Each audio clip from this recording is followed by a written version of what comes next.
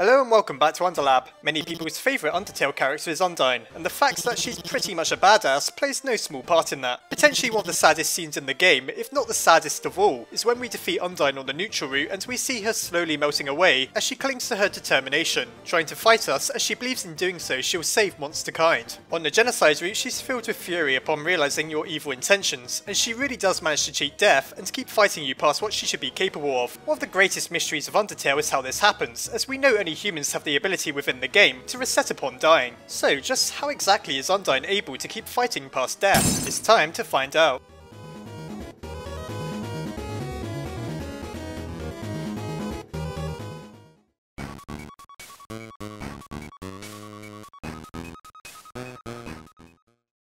Undyne is the greatest hero of monster kind. She's beloved and respected by all, and even feared by a few of her fellow monsters. Good examples of this include Papyrus and Monster Kid. Papyrus seems to admire her as much as he is terrified of her, and Monster Kid considers it to be an immense privilege just to be touched by her. So why exactly does she have such a reputation? It could simply be because of her status as the captain of the Royal Guard, which is surely a prestigious position. However, something else worth considering is her title, that of the Undying. Undying simply means last lasting forever, in other words, not dying. While a more literal interpretation of the word would suggest that Undyne is immortal, I think it's obvious enough in this context what it really means. For whatever reason, Undyne doesn't really care for dying under normal circumstances. We see this happen in two different ways within Undertale, but only on the genocide route do we see the full extent of it. On the neutral route she melts away in perhaps one of the saddest scenes in recent video game history. It's harrowing to think that she keeps on fighting for the safety of monster kind, and to think that we've killed someone who's essentially a hero likely makes many people think twice about about not sparing monsters. However, the genocide path is a different story. Seconds before delivering the killing blow to Monster Kid,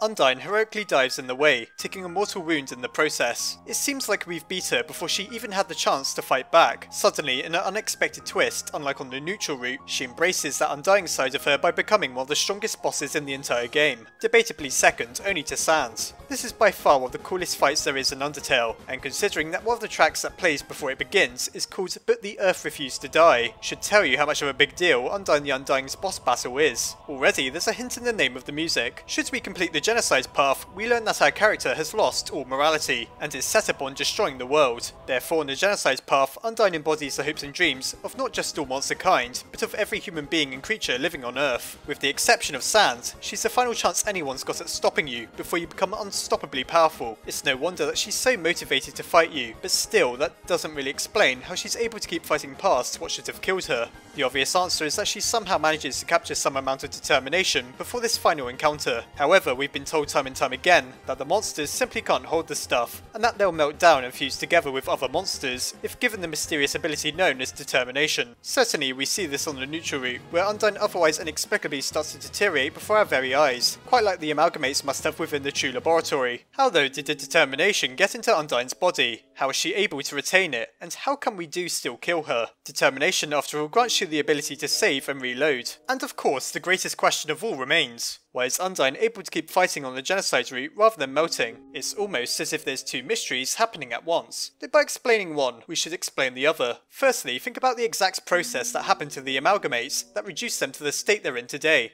After having fallen down, which we can assume is just a politer way of saying died or dying, Alphys injected several monsters with an experimental dosage of determination. This resulted in their bodies decomposing before merging with the monsters nearby, therefore making them a single entity, or in other words, an amalgamate. Many players players make the connection that Alphys has deep feelings for Undyne, as well as being the only living monster aware of the failed experiments within the true laboratory. It isn't a huge leap to assume that Alphys gave Undyne determination in some way, in order to prepare her for her fight with the human. I've even seen it speculated that the ice cream producing machine within her lab is laced with determination, and that's how Alphys managed to give it to Undyne without arousing any suspicion. While there's convincing arguments to be made here, I do feel there's several that seriously undermine this idea. Firstly, we have to remember that Alphys isn't really your typical mad scientist, and she's just someone who made a terrible mistake. She never wanted to create the amalgamates, and she was only trying to save their lives. However, now she knows the side effects to her experiment, she'd surely never attempt to harness determination again, at least not in the way she did the first time. Why would she inject or feed Undyne with determination, with the knowledge that it will result in her melting down? Perhaps she might think that Undyne has the strength to take the stuff, but it seems like an incredible risk to take for something that might not pay off. For all she knows, the human might not even pose a real threat to Undyne. For example, if we're on the pacifist route, and so giving Undyne a boost for the fight is entirely pointless. What really makes this seem impossible though, is that you can always just spare Undyne and she'll be fine for the rest of the game. Unless Undyne is uniquely able to retain the determination she's been given, it never seems to affect her outside of when you kill her. Therefore, I believe it's pretty much impossible that Alphys gave Undyne any amount of determination.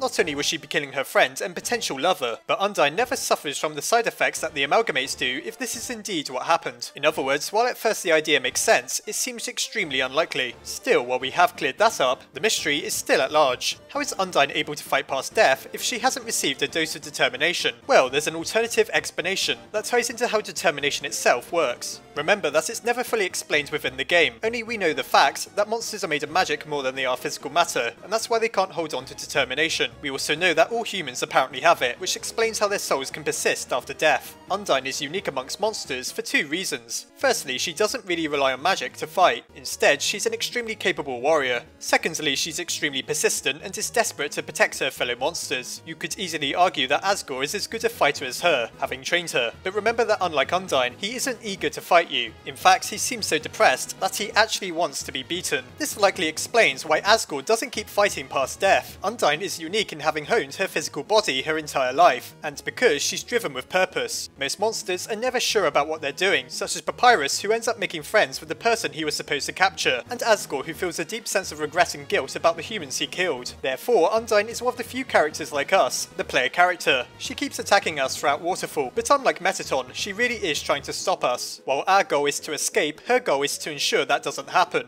Few monsters are committed to their job as Undyne is. In fact, she's quite literally the most determined monster of all when it comes to wanting to stop us. It seems therefore that Undyne has tapped into whatever determination really is by having such a clear purpose. She still has to solve a monster, as it's her body that keeps on fighting and not her soul, unlike humans and boss monsters who can be preserved after death. But for a moment Undyne is filled with determination, almost like how adrenaline works in real life, rather than having it artificially injected within her. While the exact way that determination works is never explained, explained, it's clear that history got it wrong. It seems with a good enough reason, a monster is able to keep on fighting. The answer is all in the genocide route. On any other path, Undyne's reason isn't good enough to give her the inner determination needed to keep on fighting you. However, with the burden of not just monsters, but also humanity on her shoulders, Undyne reaches her full potential and becomes the true hero of the story. In conclusion, the true nature of determination may be unclear, but because Undyne is so desperate to stop you, it manifests within her despite her being a monster. Undyne is scary proof that monsters are capable capable of what humans are, but thankfully she's also a symbol of hope who inspires monsters everywhere. It seems that more monsters just need to believe in themselves.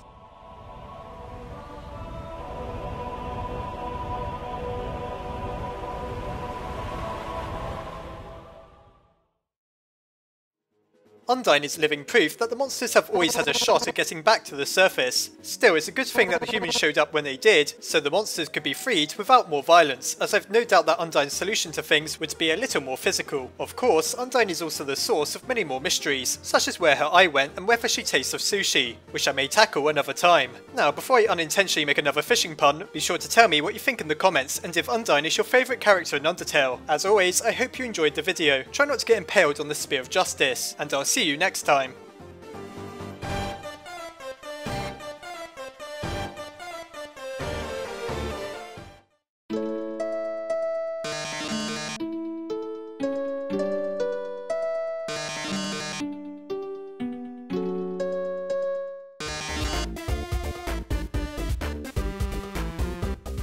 Before I go, I'd just like to say a massive thank you to my patrons, my head scientists and She, Cameron Vigil, Kay Jensen and Sophronius, and my underlab scientists Crystal Sleet, Nicholas Dux, Armin Arlett, Marisa Ray, Corey Kidwell, Yushio Koroni, Sarah Wydra and Emily Gatewood. Thanks to the generosity of every name you see here, this channel is able to keep going. If you enjoyed this video, please consider checking out the Patreon link below, as well as the video that explains why I'd so massively appreciate your contribution.